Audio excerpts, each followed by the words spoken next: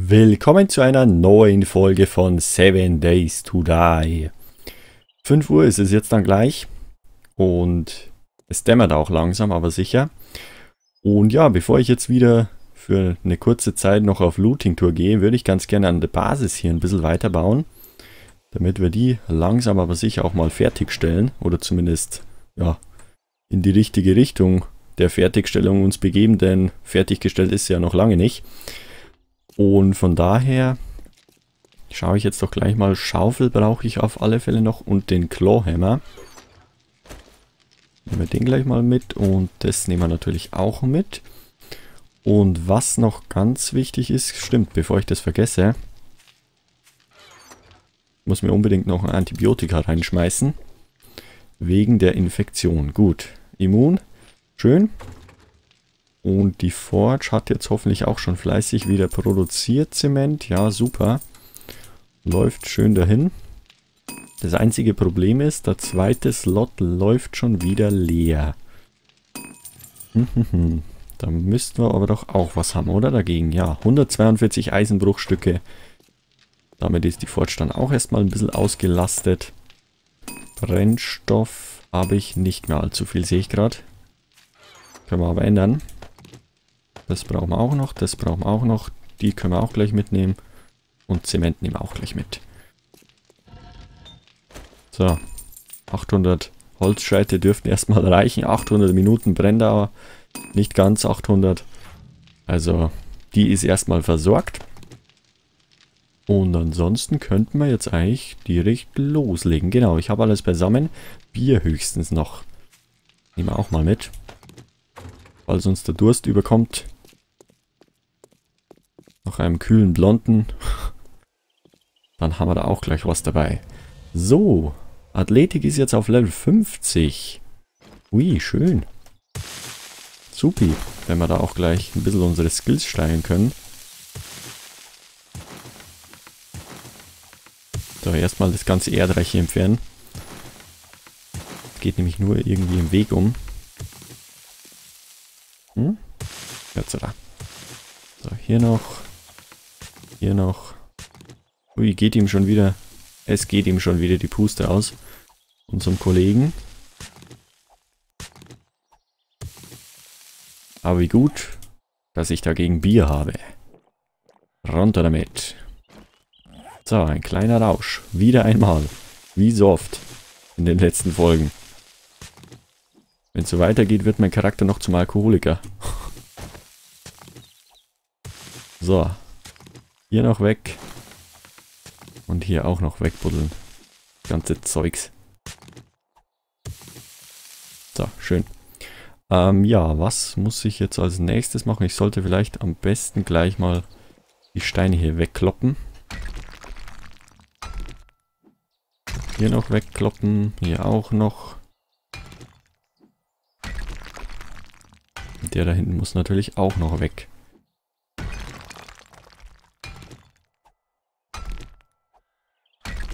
Gut. Ähm, den 5er Abstand hätte ich ja hier auch eingehalten. Das heißt, hier kommt die Mauer hin. Dann schnappen wir uns doch gleich mal die Frames. So, das, das, das, das und das können wir gleich mal mit betonen lassen. Und hier habe ich gesagt, kommt die Mauer hin. Genau, weil ich 5 Abstand brauche. Dann platzieren wir die aber auch gleich entsprechend, damit ich da nicht durcheinander komme. Gut, sehr schön. Perfekt. So. Das kommt natürlich auch raus. Haben wir dann unsere schönen Spitzen hin. Die ich dann unbedingt auch noch zu gegebener Zeit aufwerten muss.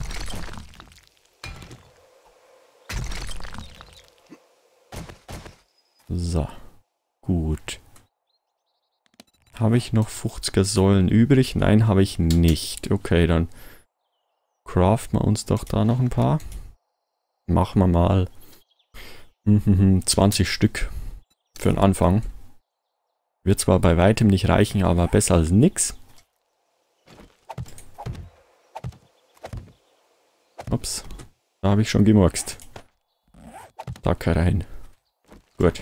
Zack, zack, zack, zack und zack. Schön. Supi. Stahlgerüste. Müsste ich sowieso noch ein paar herstellen, denn da habe ich ja gar keine mehr. Da habe ich jetzt den letzten, das letzte Stahlgerüst verbaut. Dann stellen wir uns doch da auch gleich... Hm, wie viel stellen wir uns da her? Okay, ich bin ungefähr bei der Hälfte. Ja, so 200 dürften es eigentlich schon sein, sage ich mal. Oder ist das übertrieben? 200 Stück? Nee, lieber ein bisschen mehr als zu wenig. Kann ja nicht schaden, wenn wir da ein bisschen was auf Vorrat haben.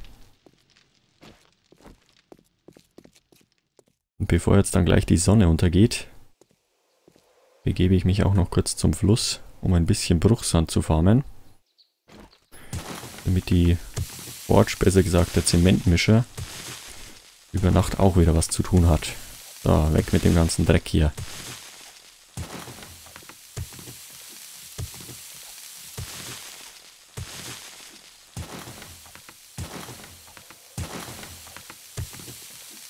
Aber man merkt schon, mit dem Stahlwerkzeug geht alles bedeutend schneller. Ja, wenn der Charakter natürlich ein bisschen Ausdauer hätte. Aber gut, geht so auch ganz gut. So, hier noch weg. Hier noch weg.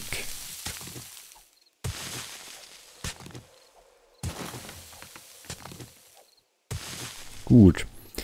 Ähm, sind die schon fertig? Ja, sie sind fast fertig. Die Säulen, dann kommen die nämlich gleich mal hier hin. So. Und da habe ich ja gesagt 5. Genau, das heißt, hier kommt dann auch schon das neue Zeugs hin. So, hier noch, hier noch, hier noch. Ups, so nicht. Immer ein bisschen gucken, nicht, dass ich hier irgendwas falsch platziere, so wie jetzt gerade. Hm, schwebt aber schön. Aber trotzdem, weg damit. Das will ich da nicht haben. Zum Glück ist er noch feuchter Beton. Sonst würde ich hier schon länger dran rumkloppen. So, weg damit. Und hier packen wir noch ein Säulenelement hin. Gut, perfekt.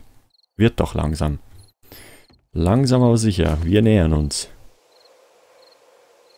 Okay, natürlich muss ich hier noch einiges an Dreck wegschaufeln, aber das schaffen wir auch noch. Gut, die Hälfte haben wir ja schon. Dann schaffen wir die andere Hälfte auch noch. Wäre doch gelacht.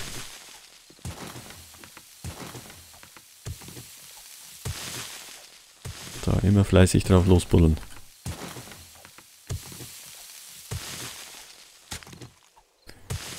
Das ist jetzt zwar nicht der spannendste Part wieder mal. Das Ausheben der Grube, aber es gehört halt leider auch mit dazu. Denn so eine Basis baut sich ja schließlich nicht von alleine. Und ja, hilft alles nichts. Aber wir gehen auch wieder mal auf Looting-Tour. So viel sei gesagt. Aber wie gesagt, jetzt erstmal ein bisschen Terraforming. So, hier noch weg. Hier noch weg. Und hier noch weg mit dem Dreck. Gut. Ähm, die Blöcke nehmen wir gleich mal weg. Die brauchen wir nimmer.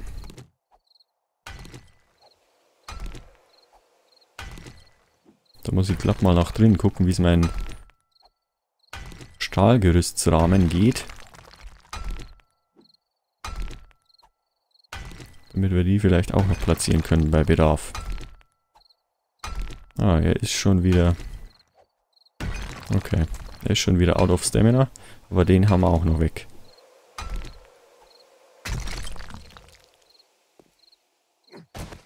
Hm, ich glaube, ich habe da gerade einen Zombie gehört.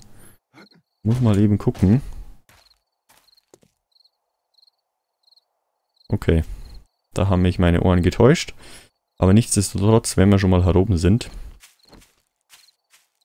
können wir ja auch wieder fleißig weiter buddeln, beziehungsweise ich könnte ja sogar den Weg hier auch wieder ausbuddeln.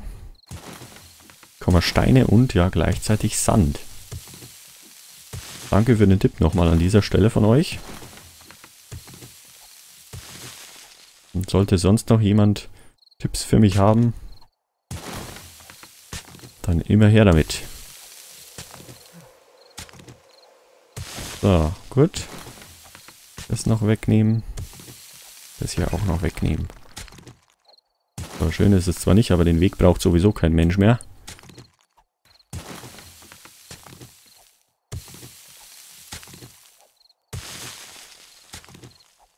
Mal kurz gucken, wie viel habe ich denn schon? 287 Bruchsand schon wieder. Na, geht ordentlich. Was weg. Ja, dann beschleunigen wir das Ganze mal eben. Mit einem Schlückchen Bier aus dem Glas.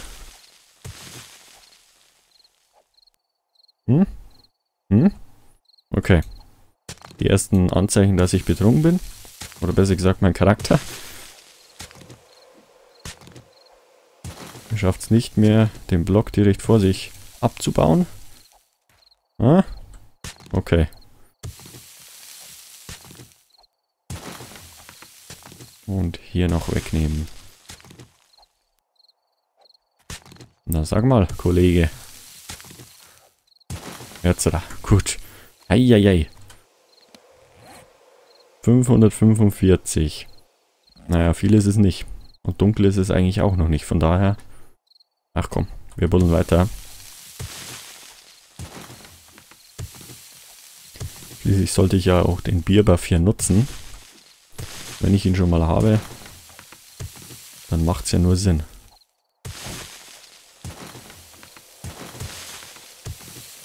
Was kommt denn hier daher? Ein Blatt Papier war das anscheinend. Hm? Jetzt da. Ist immer ein bisschen komisch hier. Teilweise nimmt er die Blöcke und teilweise nimmt er sie nicht gleich mit. Aber jetzt ging es wieder.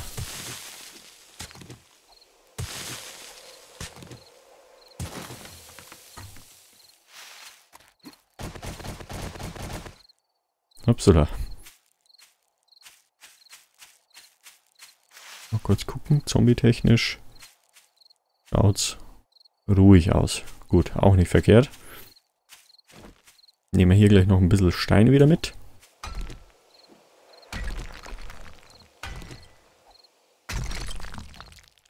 Aber ein bisschen was muss ich auch noch stehen lassen. Als Parkplatz für mein Minibike.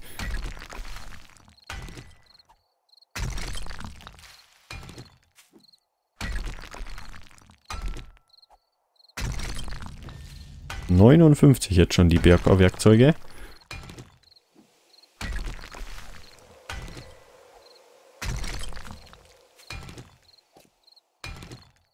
Und 40 Minuten dauert es noch und dann sollte ich hier draußen nicht mehr umher spazieren.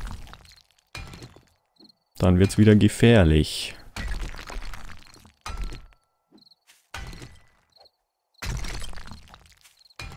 So, nehmen wir die zwei Blöcke noch mit hierher vorne und dann schauen wir aber langsam aber sicher mal nach drinnen. Denn die Forge würde ich auch ganz gerne noch befeuern entsprechend. Okay, also das reicht erstmal. 2600 Stein und auch einiges am Bruchsand. Langt erstmal, um hier weiterzumachen. So, hier durch, da rein, Tür zu. Ups, keine ungebetenen Gäste in Form von Zombies möchte ich hier in meiner Basis. So. Schön, die Stahlgerüstsrahmen werden auch schon gefertigt. Dann legen wir hier noch ein bisschen Eisen nach. Und hier können wir uns gleich wieder der Betonmischung widmen. 280 Stück. Supi. Habe ich noch mehr Zement? Ja, da können wir doch gleich nochmal nachlegen. 13 Minuten. Hui, das ist mal wieder ein Ewigkeitswerk. Aber gut, so eine Base baut sich natürlich nicht von heute auf morgen. Ui, ich sehe es jetzt gerade. Hier könnte ich mal das Zeug eigentlich auch gleich rausnehmen, gell? Wird Sinn machen. So, 10 Minuten noch. Dann ist da draußen wieder Rambazamba. Dreck habe ich jetzt schon einiges gesammelt. Was kann ich eigentlich mit dem Dreck machen? Wahrscheinlich irgendwelche Dreckblöcke, oder? Machen wir mal Dirt. Rezepte. Da will ich hin. Aha, Topfpflanzen. Könnte ich mit meinem Heim ein bisschen schöner gestalten. Mushroom Spore Seed. Fertilizer. Aha, brauche ich dann für Dünger.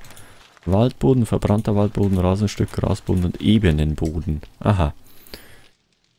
So lauter Böden, die ich mir damit craften kann. Dann lassen wir das Zeug hier mal drinnen. Wer weiß, wann ich das noch brauchen kann. Und das restliche Zeugs kann hier gleich mal zwischengepackt werden. Habe ich eigentlich noch Gold, Gold, Golden Rod? Eieieiei. Der Charakter hat mich schon angesteckt. äh. Okay, Zombies sind draußen. Ähm. Ja, habe ich noch. Dann machen wir uns doch gleich mal Goldrutentee. Da, acht Stück. Acht Gläschen. Sehr gut. Und wir können uns ja Wildbret auch gleich wieder zubereiten. Beziehungsweise Schinkenspeck mit Eiern. Die Leibspeise meines Charakters. Und das restliche Zeugs macht man zu gegrilltem Wildbret. Kochen. Gut.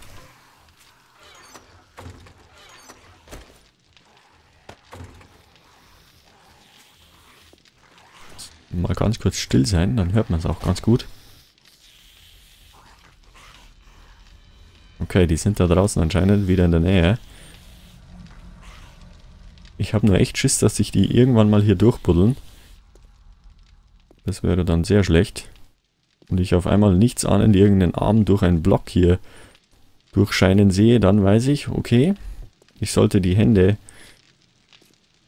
die Füße in die Hände nehmen und die Fliege machen. Aber so weit wird es hoffentlich nicht kommen. Ähm, ja, was machen wir jetzt die restliche Zeit, bis wieder hell ist? Auf alle Fälle vielleicht hier gleich mal wieder was craften. Was könnte ich denn Schönes herstellen? Kies. Das ist Kies, wie Steine, nur kleiner. Aha. Okay. Kettensägenblatt, Erdbohrerkopf, das kann ich alles leider noch gar nicht. Es wäre natürlich schon praktisch, wenn ich die Rezepte hier auch noch finden würde. Weil so ein Auger, ihr wisst es ja selbst, der ist schon bedeutend schneller als meine Stahlschaufel. Da könnte ich dann richtig Erde bewegen. Naja, gucken wir mal. Vielleicht habe ich ja demnächst mal Glück. Äh, hier geht mir auch noch ein bisschen was ab. Flintenlaufgeschosse, Feuerpfeile, Eisenvorschlaghammer und Magnumpatronen anscheinend. Obwohl die Magnumpatronen muss ich mir skillen sogar. Und ansonsten Hopfensamen, Chemietisch. Hm. Viel Zeugs. Was mir doch noch abgeht. Aber nun gut. Wir haben ja noch ein bisschen was vor uns in 7 Days to Die. An der Stelle auch schon wieder danke fürs Zusehen. Macht's gut. Bis zur nächsten Folge. Ciao.